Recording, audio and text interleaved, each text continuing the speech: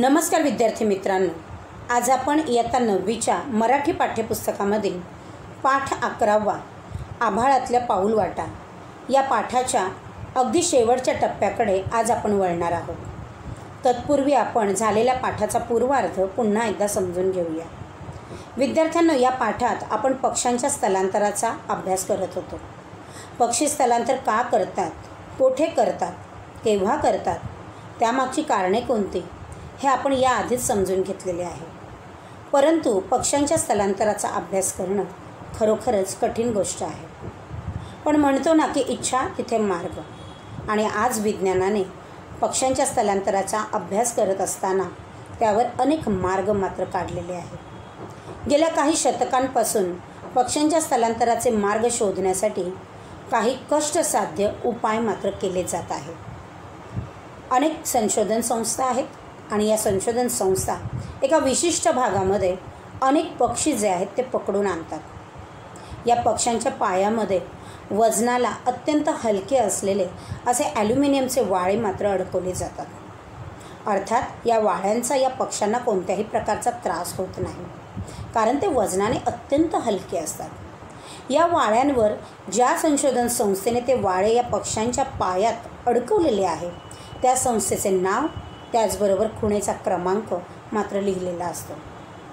इतकंच नव्हे तर कोणत्या क्रमांकाचे वाळे कोणत्या पक्षाला केव्हा कोठे कधी अडकवलेले आहे या सर्वाची नोंद मात्र या संशोधन संस्थेकडे रीतसर लिहिलेली असते.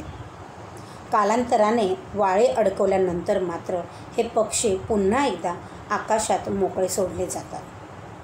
हे पक्षी स्थलांतर करत वेगवेगळ्या ठिकाणी जातात. पण यातील वाळे असलेला एखादा पक्षी जर कोणाला जिवंत किंवा मृत अवस्थेत जर सापडला तर त्या व्यक्तीने मात्र त्या वाळ्यावर असलेल्या त्या संस्थेचं जे नाव असतं त्या संस्थेला कळवणं मात्र अत्यंत गरजेचं असतं. कारण त्यामुळे हा पक्षी ज्या संस्थेने ज्या ठिकाणावरून सोडलेला आहे आणि हा पक्षी ज्या ठिकाणी त्या व्यक्तीला सापडलेला आहे यावरून या पक्ष्यांच्या स्थलांतराबद्दलचा अभ्यास जो आहे तो मात्र इथे करणं सोपं जातं.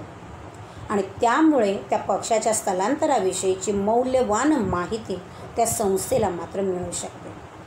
आज विमाने रडार यंत्रणा यांमुळं देखील पक्ष्यांच्या स्थलांतराची मोलाची माहिती आपल्याला मिळू लागलेली आहे. परंतु तरीही कित्येक रहस्य जी आहेत ती अजूनही उकललेली नाहीत. विद्यार्थ्यांनो आपण हा पाठ इथपर्यंत पाहिला होता. आता मात्र आपण शेवटच्या टप्प्याकडे वळूया. मी पाठाचं वाचन करते. सर्वांनी लक्ष द्या. पक्ष्यांच्या स्थलांतराचे अनेक प्रकार पाडता येतील.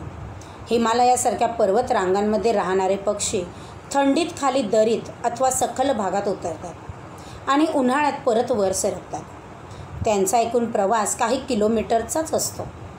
अनेकदा दुष्काळ महापूर अथवा बर्फवृष्टीमुळे एखाद्या प्रांतात अन्न मिळण्याचे झाले की पक्षी तो प्रांत सोडून तात्पुरते दुसरीकडे जातात. मुळात अन्नाचे दुर्भिक्ष ही स्थलांतरामागची मूळ प्रेरणा आहे.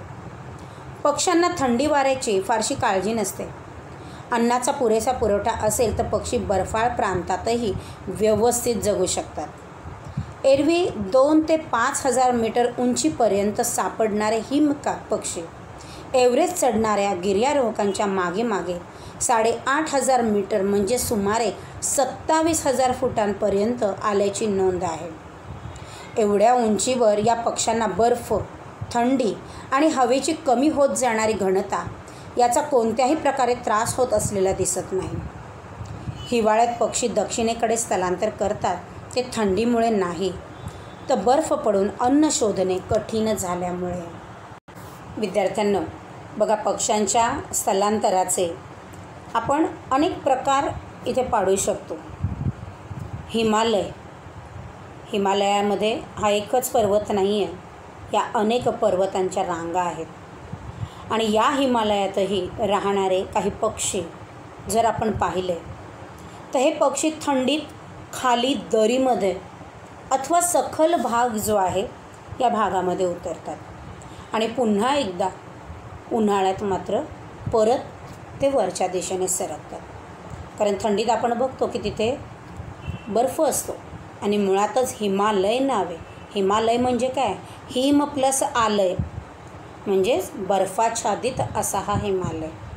आणि त्यामुळे बर्फ मोठ्या प्रमाणात असल्यामुळे या हिमालयातील पर्वतरांगांमध्ये राहणारे हे पक्षी हे मात्र थंडीत खाली दरीच्या दिशेने सखल भागांमध्ये ते मात्र उतरताना आपल्याला दिसून येतात. आणि पुन्हा एकदा उन्हाळ्यात मात्र ते वर मात्र सरकलेले आपल्याला दिसतात. अर्थात यांचा हा प्रवास जो आहे हा जो स्थलांतराचा यांचा जो प्रवास आहे हा काही किलोमीटरचाच असतो. हा फक्त वरून खाली आणि खालून वर. हा काही किलोमीटरचाच असतो. काही पक्षी आपण बघतो की खंड बदलून येतात. एका खंडातून दुसऱ्या खंडात येतात. परंतु हिमालयातील पक्षी मात्र त्यांचा प्रवास हा फक्त काही किलोमीटरचाच आपल्याला दिसून येतो. अनेकदा आपण बघतो की पक्षी जे आहेत हे दुष्काळ त्याचबरोबर महापूर त्याचबरोबर बर्फवृष्टी यांमुळे देखील हे पक्षी जे आहेत त्यांना बघा या नैसर्गिक आपत्ती जी आहे ही दुष्काळ होणं महापूर येणं बर्फवृष्टी होणं ही नैसर्गिक आपत्ती आहे. आणि त्यामुळे अशा वेळी या पक्ष्यांना त्या प्रांतामध्ये अन्न मिळणं खरोखरच कठीण होऊन जातं. मुळात अन्न ही आपली सर्वांचीच गरज आहे. आपण सर्व सजीव आहोत. आणि सजीवांसाठी अन्न अत्यंत गरजेचं आहे. जर अन्नच मिळत नसेल तर मग तिथे राहण्यात काहीच उपयोग नाही. आणि म्हणूनच हे पक्षी मात्र काय करतात? तर तो प्रांत सोडून तात्पुरते का असे ना ते पक्षी दुसरीकडे स्थलांतर करतात. थोडक्यात काय बघा? तर अन्नाचं दुर्भिक्ष अन्नाची कमतरता अन्नाची अडचण. हेच खरं तर पक्ष्यांच्या स्थलांतराचं मूळ कारण आपल्याला दिसून येतं. हे पक्षी स्थलांतर का करतात? की त्या प्रांतामध्ये जर बर्फवृष्टी झाली एखादा महापूर आला काही दुष्काळ झाला तर साहजिकच आहे अन्न मिळणं त्यांच्यासाठी कठीण होतं. आणि अन्नाशिवाय आपण कोणी जगू शकत नाही. बरोबर? आणि म्हणूनच हे अन्नाचं दुर्भिक्ष जे आहे त्याची कमतरता जी आहे ती भागवण्यासाठीच आपल्या पिल्लांना योग्य ते अन्न मिळावं त्यांचं पालनपोषण चांगलं व्हावं यासाठीच खरं तर पक्षी हे मात्र एक प्रांत सोडून दुसऱ्या प्रांताकडे स्थलांतर ते करत येतात. आणि म्हणूनच अन्नाचं दुर्भिक्ष हे स्थलांतरामागचं हे मूळ कारण आपल्याला दिसून येतं. कारण तसं पाहिलं तर पक्ष्यांना थंडी वाऱ्याची फारशी काळजी नसते. जवळजवळ बघा मेन कारण त्यांचं काय? की अन्नाचा पुरेसा त्यांना जो पुरवठा आवश्यक आहे तो मिळणं. थंडी ऊन वारा पाऊस यांच्याशी त्यांना काही घेणं देणं नसतं फारशी त्यांना त्याची काळजी नसते. मूळ कारण हेच आहे की अन्न. जर एखाद्या बर्फाळ प्रांतामध्ये जर अन्न उपलब्ध होत असेल तर त्यांना स्थलांतर करण्याची गरजच नाही आहे पण जर तिथे अन्नच उपलब्ध नाही आहे तर मग करणार काय? आणि म्हणूनच त्यांना स्थलांतर हे करणं भाग पाडलं जातं. तिथे जर अन्न उपलब्ध असेल तर ते बर्फाळ प्रांतातही सहज व्यवस्थित ते जगू शकतात. साधं आपण बघतो की दोन ते पाच हजार मीटर उंचीपर्यंत सापडणारे हिमालयातील हिमकाक पक्षी. हिमकाक इथे चित्रामध्ये बघा मी तुम्हाला फोटो टाकलेला आहे.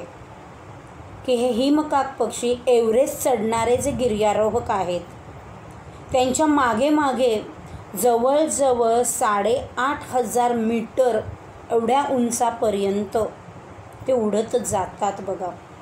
साडेआठ हजार मीटर म्हणजे झाले किती? जवळजवळ सत्तावीस हजार फूट. इतक्या उंचापर्यंत म्हणजे ते उडत जात असतात. जे थोडक्यात त्यांना थंडी वाऱ्याची बर्फाची त्यांना अजिबात काळजी नसते ते राहू शकतात. पण कधी? जर तिथे अन्न उपलब्ध असेल तर. पण जर अन्नच उपलब्ध नाही तर जीवन जगणं कठीण होऊन जातं. आणि म्हणूनच त्यांना स्थलांतर करणं हा एकच पर्याय त्यांच्याकडे असतो. या अशा कितीतरी नोंदी आपल्याकडे आहेत. या अभ्यासातून या आपल्याला मिळा सापडलेल्या आहेत. आपल्या निदर्शनास आलेल्या आहेत. की गिर्यारोहकांच्या मागे मागे हे पक्षी जवळजवळ सत्तावीस हजार फुटापर्यंत वर गेल्याची नोंद अभ्यासकांनी आपल्याला इथे निरीक्षणातून त्यांनी आपल्याला सांगितलेली आहे. आता एवढ्या उंचीवर हे पक्षी जेव्हा जातात तर त्यांना बर्फाची थंडीची तिथे आपण बघतो जेवढं उंच जाऊ ऑक्सिजन लेवल कमी असतं. बरोबर? ऑक्सिजन लेवल कसं असतं? कमी असतं. परंतु त्यांना त्याचा कोणताही त्रास होत नाही. तसंच हिवाळ्यात हे पक्षी दक्षिणेकडे स्थलांतर करताना आपल्याला दिसतात. ते थंडीमुळे नाही तर केवळ आपण बघतो की बर्फ पडल्यामुळे अन्न शोधणं त्यांना कठीण होतं. आणि म्हणूनच ते काय करतात? दक्षिणेकडे मात्र स्थलांतर करताना आपल्याला ते दिसून येतात. पुढे बघूया काय म्हटले अनेक पक्षी असे आहेत की जे बर्फ पडायला लागण्याच्या बरेच आधी अन्न अद्यापही भरपूर उपलब्ध असतानाच आपल्या दक्षिण यात्रेला सुरुवात करतात. हे पक्षी स्थलांतरासाठी अन्नाच्या तुटवड्याची वाट पाहत बसत नाहीत. सूर्य दक्षिणेकडे झुकू लागला की त्यांचे मन जणू उचल खाते. दक्षिणेची ओढ लागते. आतील अस्वस्थता वाढते. एका जातीचे अनेक पक्षी एकत्र येतात आणि ठराविक मुहूर्ताला प्रयाण करतात. या पक्ष्यांच्या बाबतीत स्थलांतराचा आता अन्नाशी संबंध उरला नसून ठराविक ऋतूत ठराविक दिशेने झेप घेणे हा एक धार्मिक विधी असल्यासारखा त्यांच्या जीवनाचा एक भाग झाला आहे. परतीच्या प्रवासाचेही तसेच. वसंतागमाला सगळेच पक्षी अनामिक ओढीने आपल्या उत्तरेतल्या घरांकडे निघतात. आता बघा बर्फ पडायला लागला. उत्तरेला हिमालयाच्या टी संपूर्ण त्या पर्वतरांगा. हे हिवाळ्यात तिथे बर्फ पडायला लागला बर्फवृष्टी झाली की खरोखरच अन्नाची मोठी पंचायत होते. आणि जगणंही कठीण होऊन जातं. त्यावेळी अशा प्रतिकूल परिस्थितीतून बाहेर पडण्यासाठी हे खरं तर पक्षी जे आहेत हे दक्षिणेकडे न कळतच स्थलांतर करू लागतात. कारण दक्षिणेकडे त्यांना जगण्यास असं एक अनुकूल असं वातावरण त्यांना तिथे मिळणार असतं. आणि म्हणून हे पक्षी काय करतात? तर दक्षिणेच्या दिशेने ते स्थलांतर करतात. असे अनेक पक्षी आहेत जे बर्फ पडण्याला सुरुवात होण्याआधीच बघा असे कितीतरी उत्तरेच्या उत्तरेला असलेले हिमालयाच्या त्या संपूर्ण परिसरात असलेले पक्षी की जे बर्फ पडायला सुरुवात होण्याआधी बरेच आधी इनफॅक्ट जेव्हा तिथे अन्न उपलब्धही असतं. मोठ्या प्रमाणात अन्न उपलब्ध असतं. परंतु तरीही बर्फ पडण्याची ते वाट बघत बसत नाही. की बर्फ पडेल मग अन्नाचा तुटवडा होईल अन्नाची कमतरता जाणवेल. मग त्यानंतर आपण स्थलांतराला सुरुवात करूया. असा विचार करत ते बसत नाही. तर बर्फ पडायला सुरुवात होण्या बरेच अधि हे पक्षी काय करतात? स्थलांतराला सुरुवात करतात.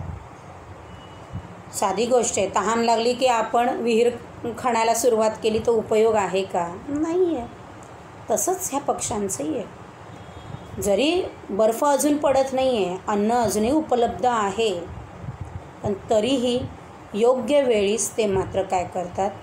तर तिथून स्थलांतराला ते सुरुवात करतात. ते वाट बघत बसत नाही की बर्फ पडेल मग अन्नाचा तुटवडा होईल मग आपण निघूया. नाही. हे पक्षी न कळतच त्यांचं मन जे आहे की त्यावेळी मात्र उचल खाते. आता बघा इथे उचल खाते हा खरं तर वाक्प्रचार आहे. उचल खाणे म्हणजे काय?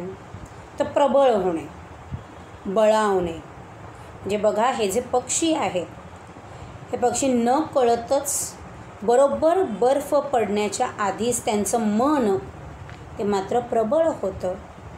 न कळतच ते दक्षिणेकडे जाण्यासाठी त्यांची तयारी सुरू होते. सूर्य दक्षिणेकडे झुकू लागला की त्यांचं मन ते उचल खाऊ लागतं. त्यांना दक्षिणेची ओढ लागते आकर्षित होतात ते दक्षिणेकडे जाण्यासाठी. मन अस्वस्थ होऊ लागतं. जसं बघा साधी गोष्ट आहे. एखादं लहान मूल सुट्टी लागली की त्याला गावी जाण्यासाठी गावी जाण्याची ओढ निर्माण होते. अगदी तसं या पक्ष्यांच्याही बाबतीत आहे. आणि त्यामुळे हे पक्षी देखील बरोबर सूर्य दक्षिणेकडे झुकू लागला की त्यांना वातावरणामधला ऋतूबदल जो आहे तो त्यांना चटकन समजतो. आणि त्यावेळी त्यांचं मन मात्र दक्षिणेकडे ओढ घेऊ लागतो अस्वस्थ त्यांना वाटू लागतं. अशावेळी हे सर्व पक्षी एकत्र येतात एकाच जातीचे असतात. हे सर्व पक्षी एकत्र येतात आणि बरोबर ठराविक मुहूर्ताला ते मात्र प्रयाण करतात.